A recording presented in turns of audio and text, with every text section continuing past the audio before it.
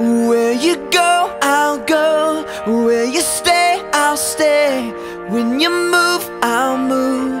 I will follow.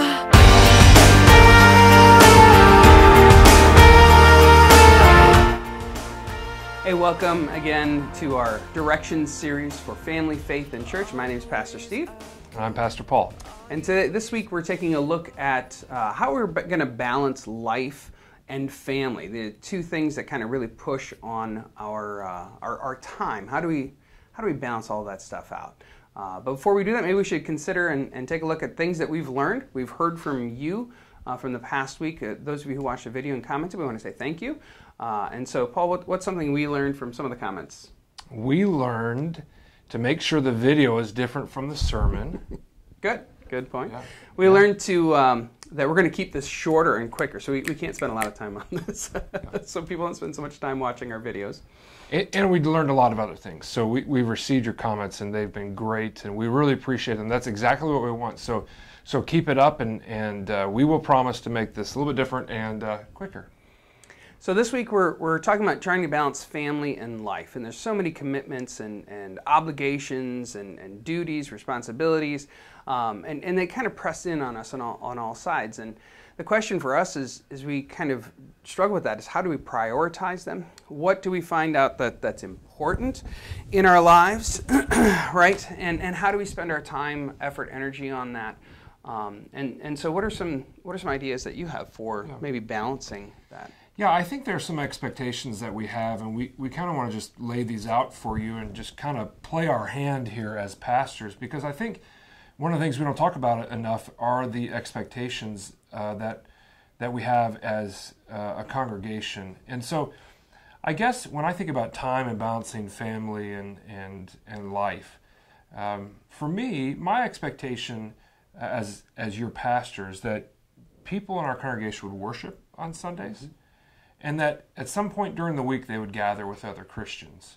I think those are the two major time commitments that I that I look at. Now I I don't know if that's realistic. I, I know growing up as a uh, as a pastor's kid, obviously, you know, I was in church on a regular basis, um, and I remember on Wednesdays we'd have our kind of midweek classes, and sometimes there are services, and our family would always go out to McDonald's beforehand and that was like a treat for us as kids because we didn't do that very often. And and uh, you know we went there and then we went to midweek. And so that was our time during during the week.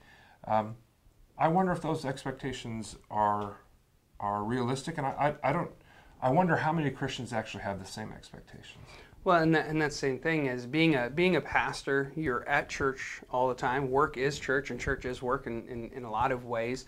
Uh, but also being a, a, pastor's kid, I grew up that way too.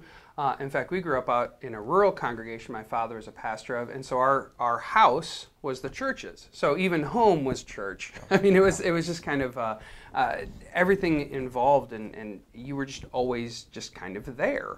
Um, and so maybe we have a, an odd perspective, and maybe it's changed for generations too.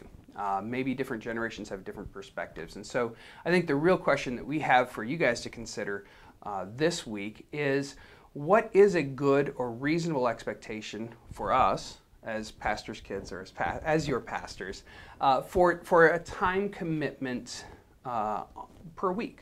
What, what, do, what do you think is a good uh, time frame or time commitment with that, and and let us know. So. So let me just clarify that a little bit. We're not asking you for how much we should work. Okay, that's not the question. We only work one day a week. That's true. So just get over it. Um, no, our so the, the question is, how much should we expect from congregation members? What what is the expectation? And you when you talk about balancing life and family, uh, what are the expectations that are realistic for us as pastors to have of you. So, you, I was going to say that includes both on campus, yes. like worship, but then yes. also off campus. What are the connections you're making outside of the church property right. and, and in, with fellow Christians? So, for example, uh, I meet on Thursday mornings with uh, a small group of, of men. We have a men's Bible study. That's my outside of Sunday morning time with, with other Christians. Uh, I would have that expectation for every member of this congregation, along with worshiping on Sunday. And so we, we kind of want to know Uh, is that realistic? Uh, what is realistic uh, for expectations? All right, so you can go to loveofchrist.org forward slash directions. Leave your comments there. Um, are there other ways people? You, I mean, you can email us directly, I suppose, if really want. It's really good to send them that way, though. Uh, then we both get them, um, and I think that would we just love hearing from you and appreciate your engagement on this. Sounds great. All right, Have a great week. see you next time.